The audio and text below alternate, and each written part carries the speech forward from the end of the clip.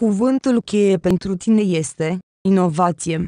Ești atrasă de proiecte noi, progresive, în plus, ești înzestrată cu talentul de a observa oportunități care sunt de obicei ascunse altora. Mulțumită genei creative și artistice, manipulezi cuvintele și ideile asemenea unui artist care lucrează cu vopsea sau lut. Te confrunți cu zel cu probleme complexe și le rezolvi combinând brainstorming-ul și acțiunea reală. Încrezătoare în sine, știi să-ți prezinți afacerea și să arăți o elocvență fără precedent apărându-ți opinia. Ești foarte încrezătoare că vei putea să-ți duci la îndeplinire planul. Uneori această încredere nu este lipsită de fond, alteori, din păcate este complet irală. Ești capabilă de realizări grandioase, dar înfrângerea nu ți este străină. Dacă se întâmplă că nu reușești, se datorează unei abordări nerealiste a vieții, când ai tendința să privești lumea prin ochelari roze. Astfel, trebuie să înțelegi ferm că succesul vine nu numai datorită eforturilor depuse, ci și ca rezultat al calculului atent și echilibrat. Semnul tău zodiacal aparține constelației săgetător. Semnul zodiacal săgetător este direct legat de semnele elementului foc, care se disting prin următoarele calități, irresponsabilitate, inconstanță, logică. Ești energică, iubești natura, ai o sete mare de independență spirituală. Viața ta este afectată de maestosul și spiritualul Jupiter. Această planetă ți oferă noroc și bunătate, energie și generozitate, dar nu fără gropi aici, sinceritatea și ambiția ta pot fi echilibrate de frivolitate, o tendință de a-ți asuma riscuri. Generozitatea și complianța pot ajunge în motivație și neglijență excesivă, iar vitalitatea ta poate fi dispersată datorită mișcării în toate direcțiile simultan. Conștientă de numeroasele tale abilități și virtuți, poți fi lovită de vanitate și aroganță, care, la rândul lor, pot duce la dezvoltarea ipocriziei și a pasiunii pentru plăcerile vicioase. Ar trebui să te bazezi pe spiritualitatea ta deosebită, evitând complexele napoleoniene și disprețul față de ceilalți. Iubirea de divertisment și senzualitatea dezvoltată te poate duce la diverse tipuri de dependențe.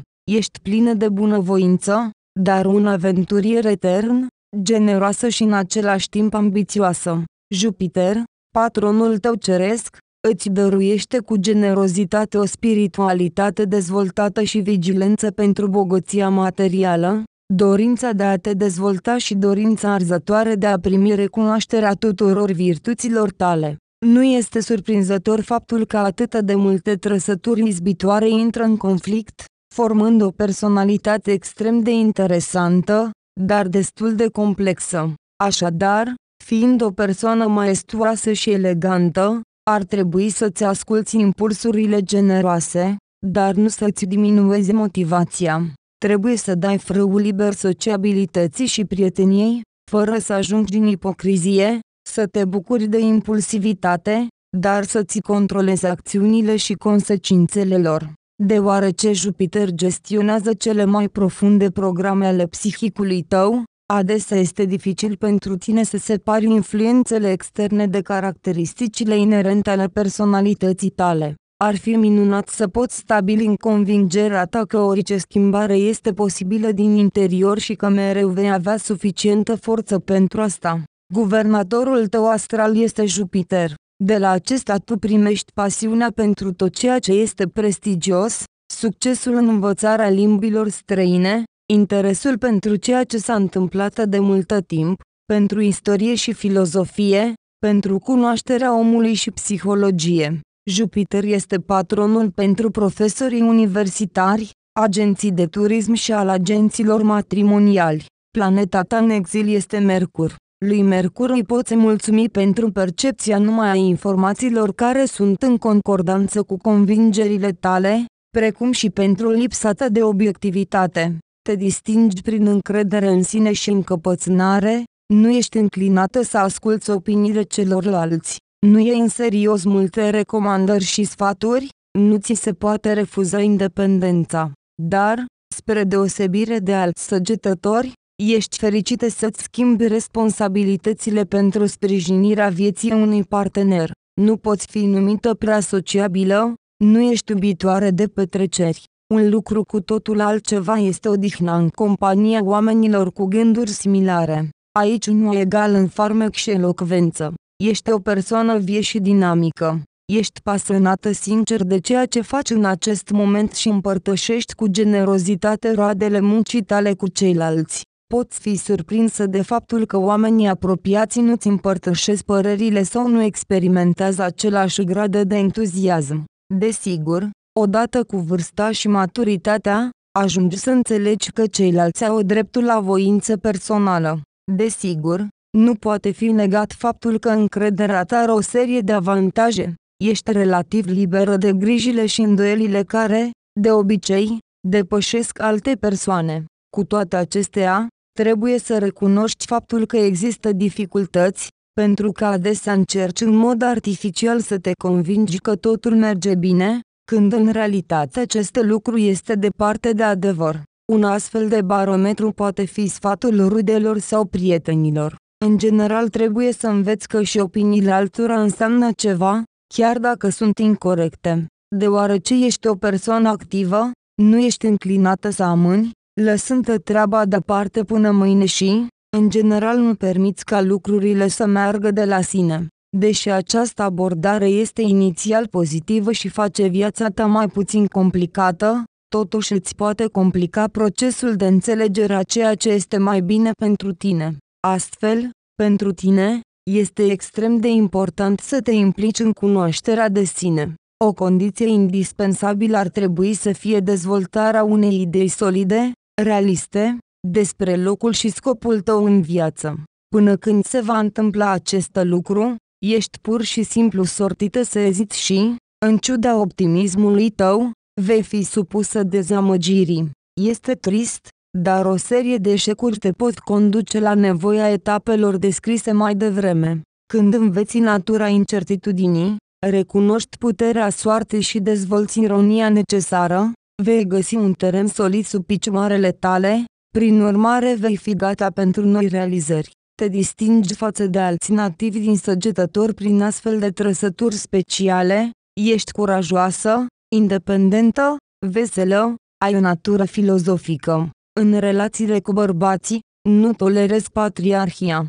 Ești obișnuită și accepti doar să fii în condiții egale cu un partener, nu ți este frică să iei inițiativa și să iei chestiunile în propriile tale mâini. Pentru a fi cucerită inima ta, nu poți lupta decât bărbați strălucitori și carismatici, în niciun caz inferior ție.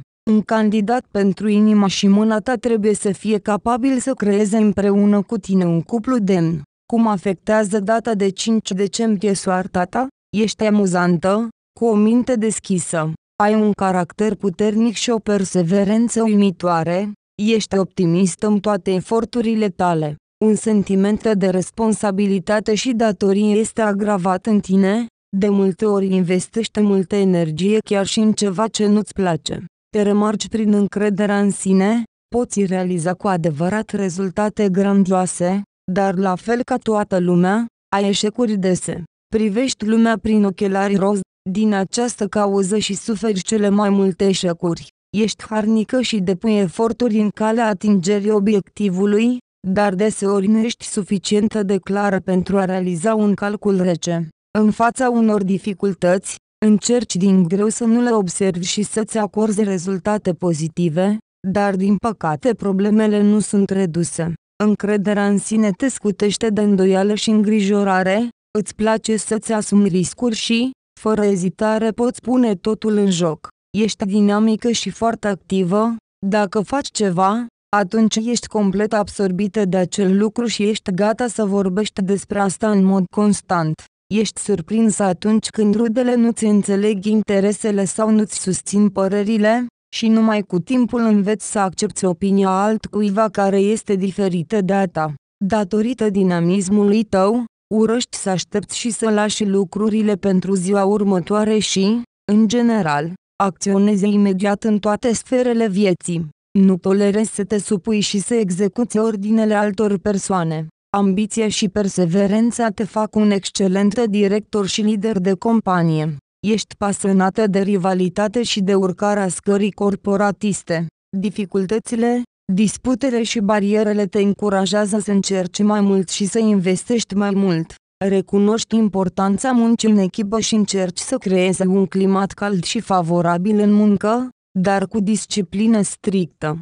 Nu tolerezi conflictele și escrocherile din cadrul echipei și selectezi cu atenție lucrătorii, ocolind personalitățile destructive. În viața ta personală, ești simpatică și iubitoare, este important pentru tine să ai o vatră de familie confortabilă.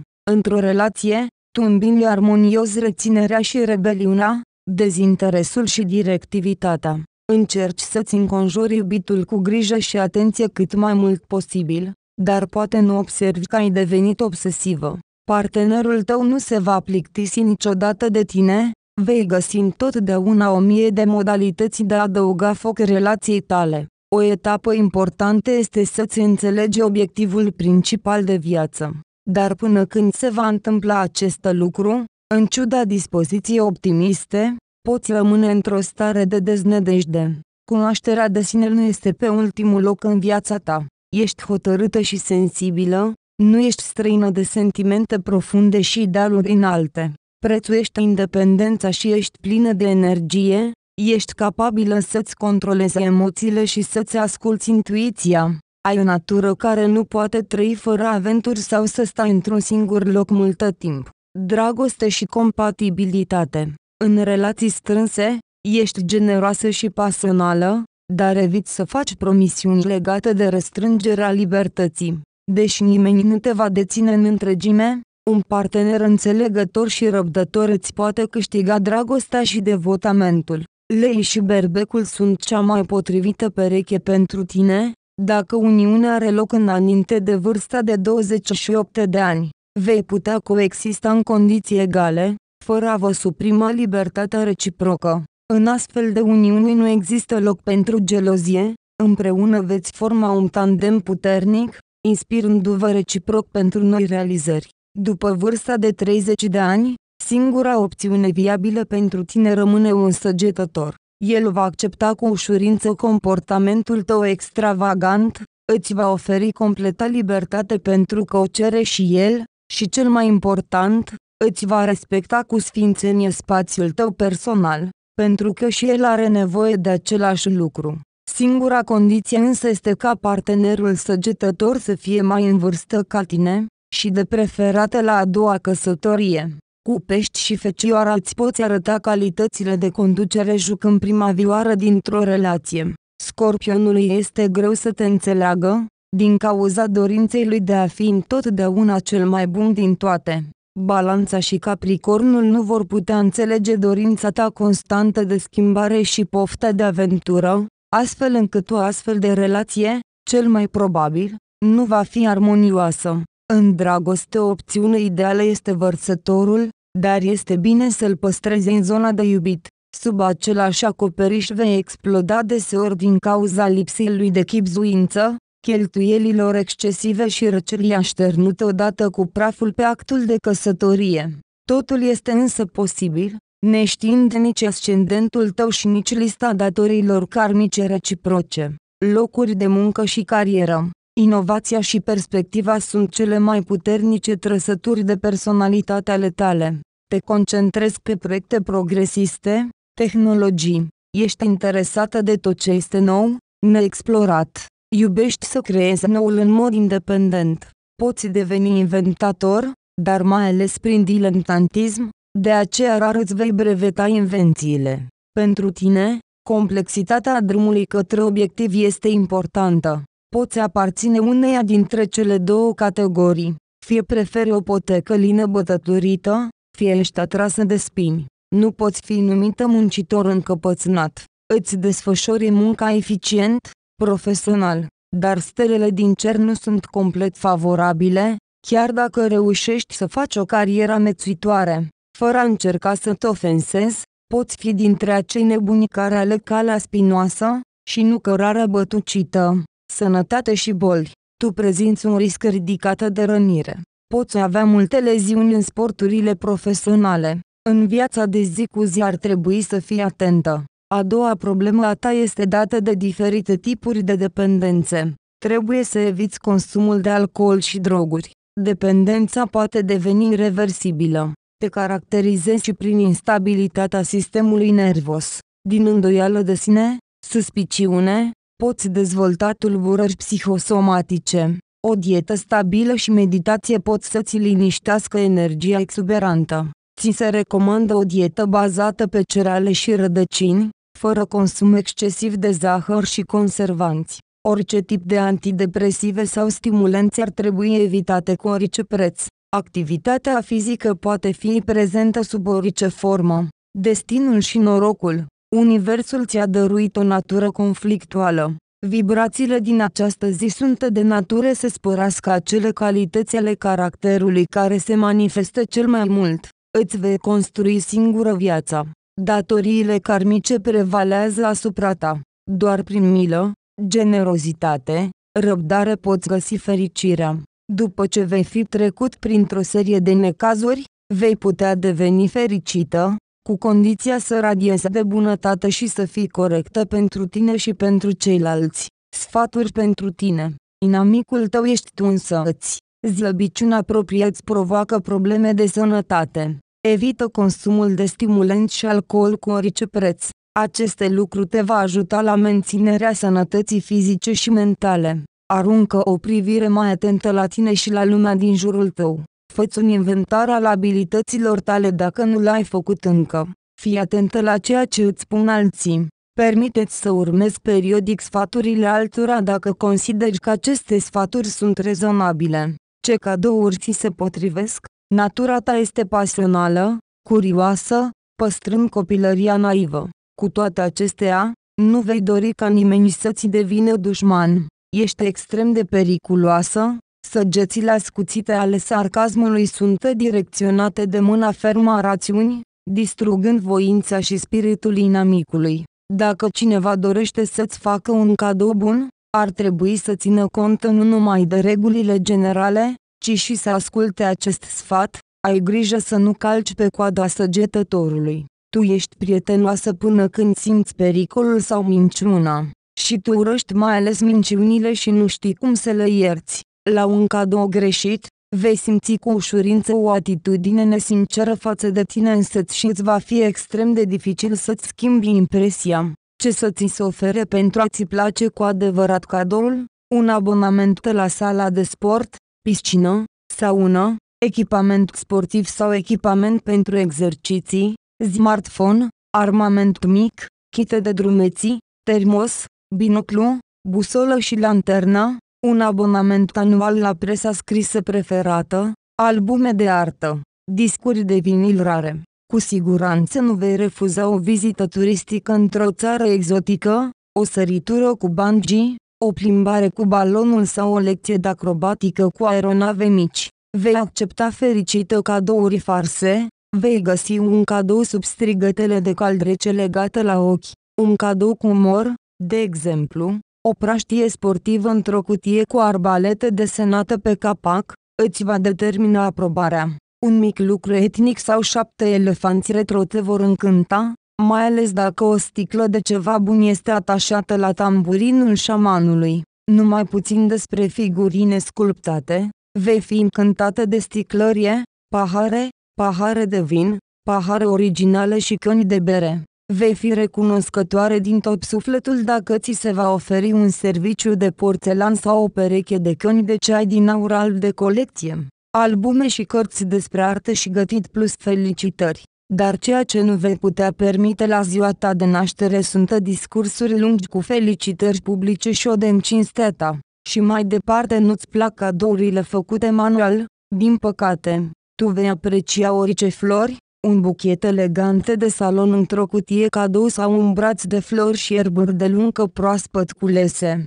O varietate de flori într-un buchet și o revoltă de culori sunt binevenite. Apreciez tehnologia ușor de strecurat într-o geantă sau buzunar. Notoriul Mr. Gadget din desenele animate este un model pentru săgetător. Nu-ți poți imagina viața fără dispozitive multifuncționale compacte, precum și tot felul de gadgeturi tehnice și noutăți.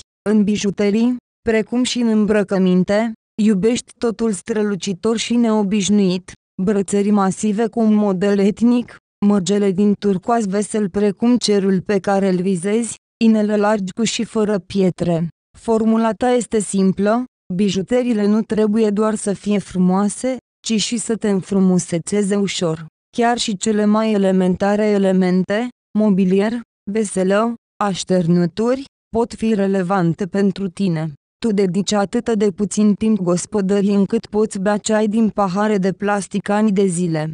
Vei arăta o îngrijorare autentică când ți se oferă ceea ce ai cu adevărată nevoie. Parfumul pentru tine este o varietate de arome florale, de parcă ai plasa un oraș plin de viață direct într-o pajiște colorată. Veselă, porți soarele în inimă, așa că îți place să simți parfumurile florale discrete care amintesc de vară și de libertatea nemărginită. Poți fi recunoscută ca un cunoscător de bibeloni și suveniruri. Ai deja o mare de ele, dar cu cât mai mult, cu atât mai bine nu? Îți place în special exoticul, care îți transformă locuința într-o ramură a cabinetului curiozităților și a clubului călătorilor. Crustacei cretacice, amuletă voodoo, castaniete, tamburine de șaman, o vază din Veneția, una rece cu săgeți, totul își va găsi locul pe raftul tău ospitalier. Acesta este un portret general pentru tine. Te vei descoperi cu adevărat într-o astrogramă natală în care vei afla predispozițiile pentru întreaga viață, așa cum ți le-au dăruit ursitoarele tale.